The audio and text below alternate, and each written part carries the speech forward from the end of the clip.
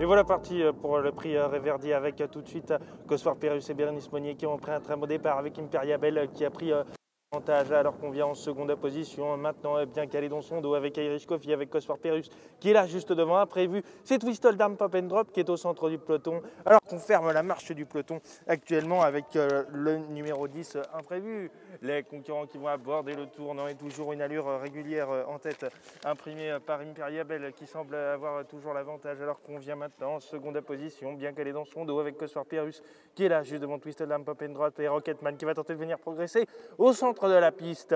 Les concurrents sont à la mort. C'est le tournoi final avec Cosfor Pérus qui a toujours l'avantage alors qu'on va tenter de venir l'attaquer maintenant à l'extérieur avec euh, Imperiabel mais également avec Irish Coffee qui va tenter de très bien terminer. Dame Pop and Drop est à l'arrière. Regarde les concurrents qui abordent de la dernière ligne droite euh, maintenant avec euh, deux concurrents à la lutte avec Rocketman en pleine piste avec à l'extérieur Imperiabel qui est là avec Cosfor Pérus qui se ressaisit bien maintenant côté corde. Et puis à l'extérieur la casaque blanche, coque rouge du numéro 6 qui va rafler la mise. Le 6 qui euh, s'impose dans cette épreuve. Il s'agit de Joker des Vallons euh, qui euh, s'impose brillamment dans cette première épreuve.